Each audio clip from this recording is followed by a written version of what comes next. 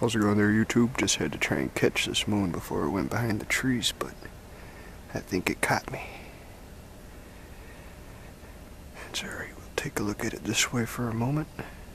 I'll try and upload one more clip without this tree, see if I can get it or not. But, as always, thanks for tuning in, everybody. Marty Mart 36 channel. Try and get one more good clip here.